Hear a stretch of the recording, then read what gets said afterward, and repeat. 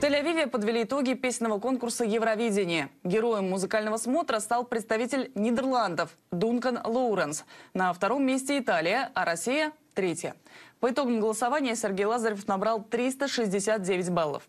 Чем артисты удивили публику и как проходил выбор победителя, увидел шеф Ближневосточного бюро вестей Сергей Пашков.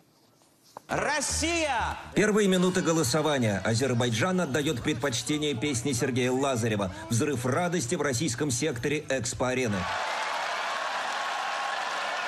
И снова напряженное ожидание. Голосует 41 страна. Сначала профессиональное жюри, затем телезрители. Выходя на сцену, Сергей Лазарев уже знал, что могут быть аннулированы результаты голосования белорусских судей. Необъяснимая, досрочная утечка в сеть. О намерениях судьи, возможно, стоило бы именно нашему певцу решающих баллов.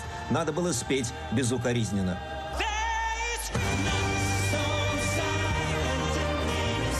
Стотысячная толпа, собравшаяся в Тель-Авивской фан-зоне на берегу моря, взорвалась овациями. Едва Сергей Лазарев завершил исполнение своей композиции «Скрим», «Крик». Эту песню здесь услышали, успели полюбить. И этой ночью ее подпевали сотни голосов. Мы болеем!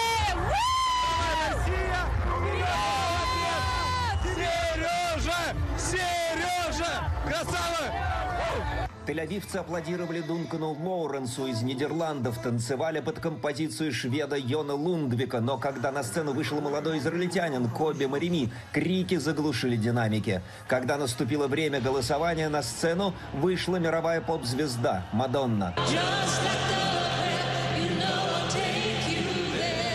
Традиционно выступая в стиле политического памфлета, члены группы «Мадонны» прикрепили к одежде кардебалета израильские и палестинские флаги. Объявляются результаты. Судьи назвали первым шведского вокалиста. Отношение к нашему певцу кажется предвзятым. Сергей Лазарев на девятом месте. И в 2016 году жюри поместило вокалиста на пятое место, когда зрители сделали его первым. В результате третья позиция. На этот раз происходит ровно то же самое. Сергей получает дополнительные 200 баллов от зрителей и становится третьим. Вновь.